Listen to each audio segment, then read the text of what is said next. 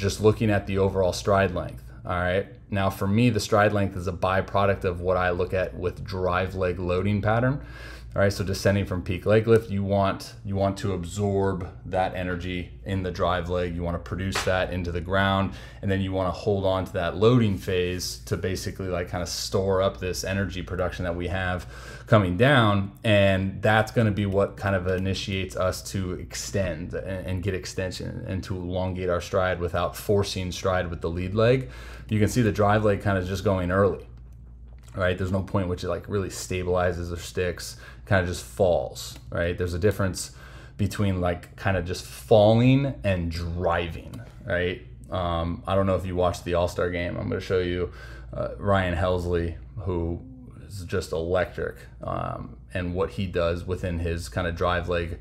Uh, drive leg mechanics and how that kind of influences, you know, the, the the acceleration rate down the slope, and the stride. All right.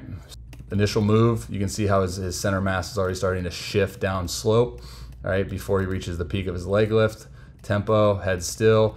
And now as he descends, again, when we look at the drive leg mechanics, we look at absorbing, um, producing, and storing of this energy, so to speak, right?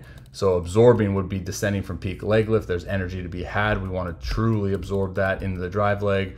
So that's going to be something that we can do with our upper body, with, with whether it be like a trunk tilt, a counter rotation, whatever kind of helps aid in that storing of this energy, so to speak. Um, and then now as we store, right, like you can see how he's, his, his trunk is tilted. He's not, you know, he's not kind of falling out front and disconnecting from his lower half.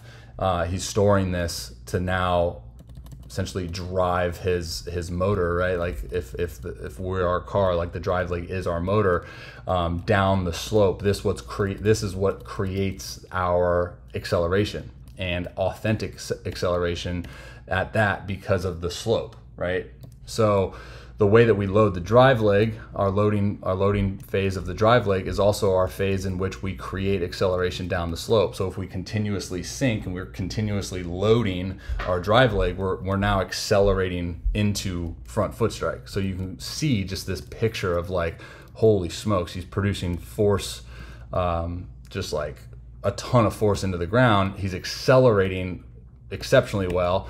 And just notice where his, his arm action is like his his throwing hand in relation to his front foot, right?